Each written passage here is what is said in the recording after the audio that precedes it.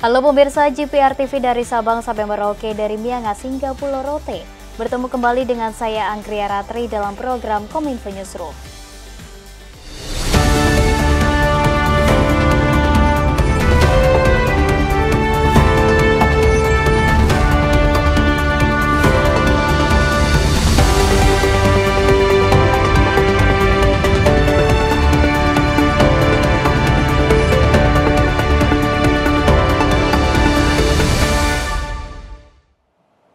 Kita ke informasi yang pertama pemirsa, Pusat Vulkanologi dan Mitigasi Bencana Geologi menyebutkan saat ini gejolak gunung api ruang terjadi sangat cepat.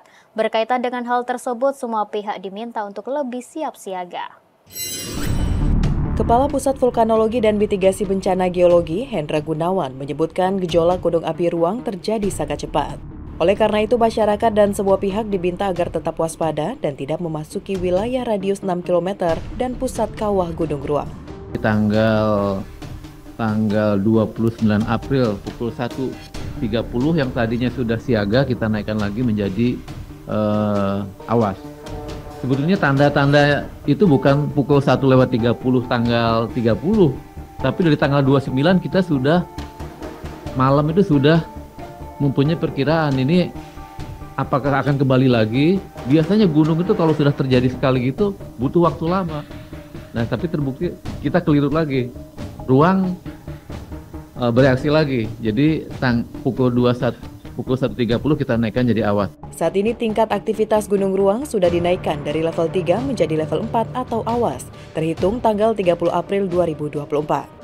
Selain itu juga telah dilakukannya perpanjangan SK Bupati Kabupaten Sitaro tentang tanggap darurat bencana erupsi Gunung Api Ruang dari tanggal 30 April hingga 14 Mei 2024.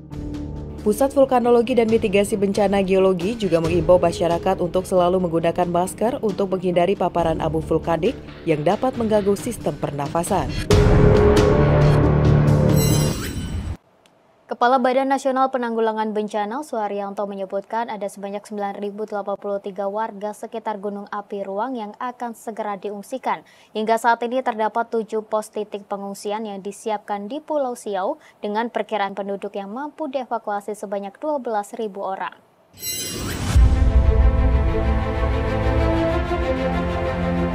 Kepala Badan Nasional Penanggulangan Bencana Republik Indonesia Suharyanto menyebutkan ada sebanyak 9.083 masyarakat dalam radius 7 km yang harus segera diungsikan terkait dengan adanya peningkatan aktivitas gunung api ruang yang saat ini menjadi level 4 atau awas.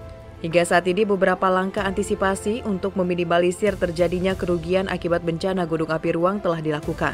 Di antaranya penutupan tujuh bandara, pendirian posko kesehatan dan dapur umum bagi masyarakat terdampak dan Basarnas juga telah menyiapkan KNB Masena untuk membantu proses evakuasi.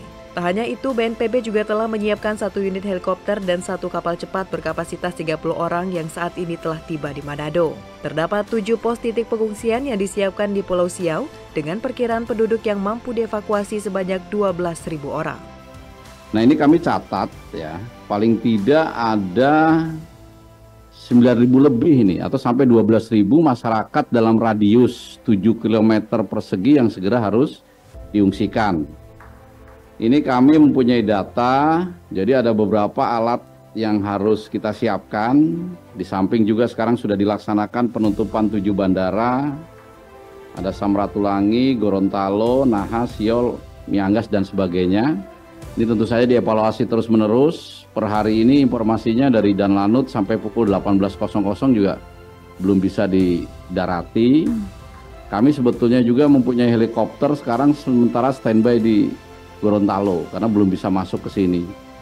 Ini juga penting karena helikopter juga digunakan untuk evakuasi bagi mungkin yang sakit dan sebagainya. Pemirsa BMKG memastikan peningkatan suhu di Indonesia belakangan ini bukanlah gelombang panas, meskipun beberapa wilayah mencatat kenaikan suhu di atas rata-rata. Fenomena ini dianggap sebagai bagian dari siklus alam akibat gerak semu matahari. Badan Meteorologi, Klimatologi, dan Geofisika mengonfirmasi bahwa fenomena udara panas yang terjadi belakangan ini di Indonesia bukanlah sebuah gelombang panas.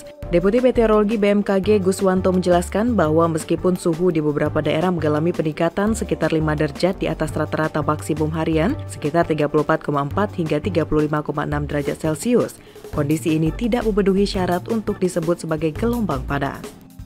Lebih lanjut, Guswanto mengatakan peningkatan suhu ini tidak sebanding dengan apa yang dialami beberapa negara Asia lainnya, seperti Myanmar, Thailand, India, Bangladesh, Nepal, dan Cina yang mencatat suhu maksimal mencapai 41,9 hingga 44,6 derajat Celcius. Menurut BMKG, peningkatan suhu di Indonesia adalah hasil dari gerak semu matahari dan merupakan bagian dari siklus alam yang terjadi setiap tahun. Oleh karena itu, BMKG merekomendasikan untuk menghindari paparan matahari langsung antara pukul 10 waktu Indonesia Barat hingga 16 waktu Indonesia Barat, serta menggunakan tapir surya guna melindungi kulit dari dampak suhu yang tinggi. Pemirsa sejumlah informasi akan kami hadirkan setelah jeda pariwara berikut ini tetaplah di Kominfo Newsroom.